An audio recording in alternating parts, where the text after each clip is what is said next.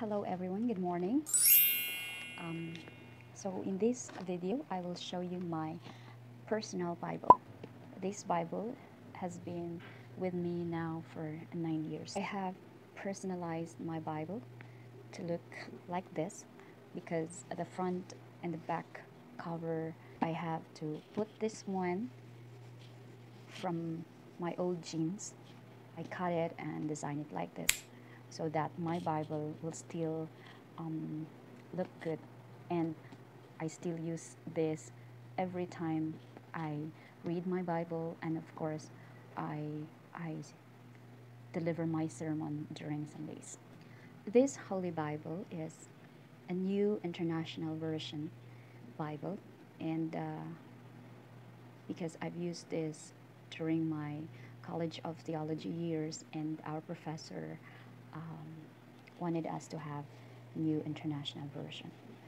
Um, so recommended it. He recommends it to us, and therefore, I got this one Bible, and uh, it has been with me since that time. And I've used, I'm used to using international, new international version. So it's up to you uh, which version you'd like to use um, during our class.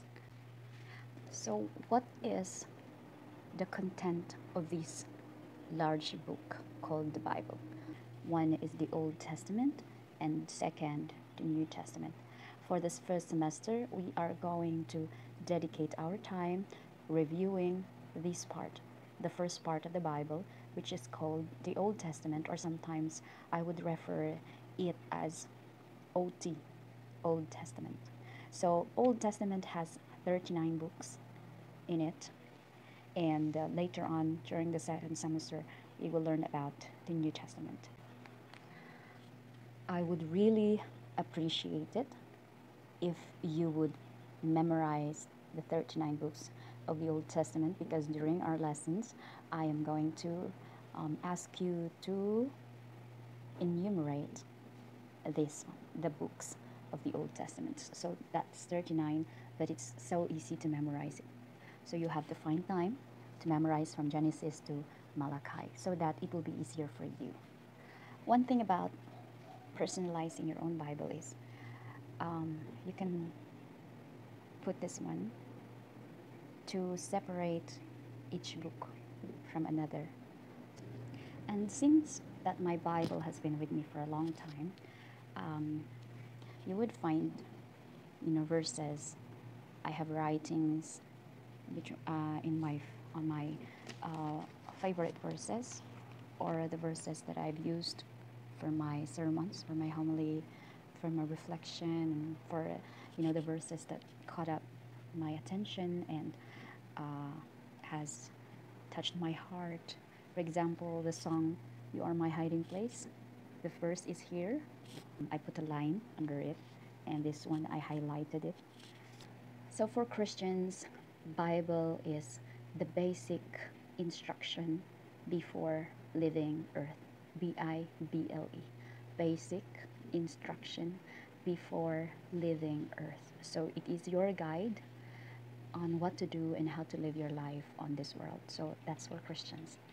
And I believe that this Bible, this book, this holy word is so essential for me because it has helped me go through so much uh, hardships in my life since I was I was a kid.